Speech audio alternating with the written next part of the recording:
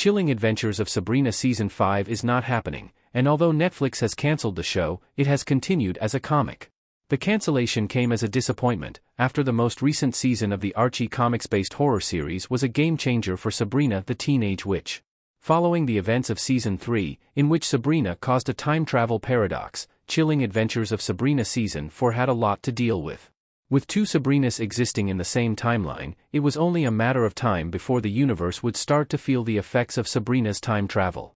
While the Fright Club and Sabrina's loved ones came together to resolve her actions, the show's heroine had to pay the ultimate price, and Kiernan Shipka's character was killed off in the chilling adventures of Sabrina series finale. In order to save the world, the show's titular character gave up her own life and, unfortunately, there was no magical post-credit scene to undo her death.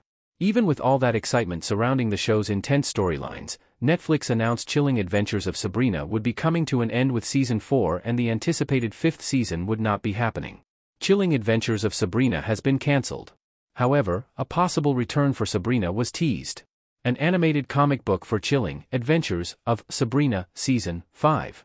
Even with the cancellation of Chilling Adventures of Sabrina on Netflix, fans have held out hope it was not truly the end, and of course, it would be far from the first time that a supernatural show continues after the death of a main character. A fifth season has already been teased by the creative mind behind Sabrina and Riverdale, Roberto Aguirre Sacasa, in an interview with Deadline. The big news isn't that there would be another Sabrina comic book, which wouldn't be a wildly unexpected move from Archie Comics. The reason the comments are noteworthy is that Aguirre Sacasa said that Sabrina will eventually come back, and that he was finding a way to work with Kiernan Shipka. Netflix has good reasons for season 4 being the end of the series, but these comments may suggest that a reboot or sequel series is in the works, or even that the show could continue elsewhere.